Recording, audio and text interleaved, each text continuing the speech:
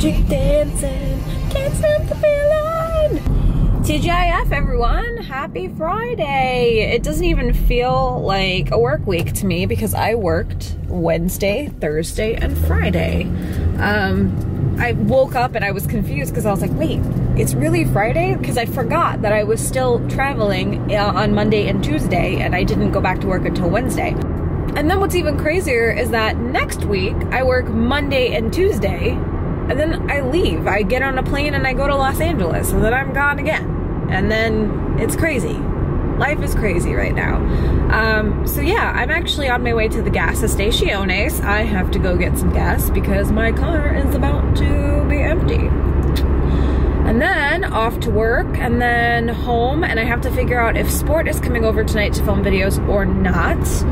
If not, I have a lot of stuff to do in regards to my upcoming convention, so I really have to buckle down and work on that. But I'm gonna go, I'm just gonna wing it until I find out what the plan is. Look at this crazy plane. What the heck?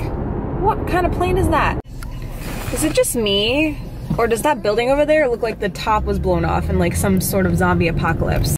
This tree right here. When I It's walked- Right literally here, like look. swaying. When I walked in here, all the windows Look, wait till a bust a, a burst, bust of window goes. So apparently there's a storm coming and it's like 60, 70 mile per hour winds and this tree Look at the tree. is swaying.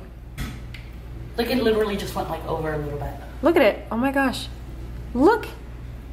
Wow. This looks like tornado weather. Weather. It's pretty crazy wind. I'm a little nervous. I hate when Luna's home during stuff like this. And if Yeah, this, this is is supposed to be how it is until what 5:36 at night, We're jeez.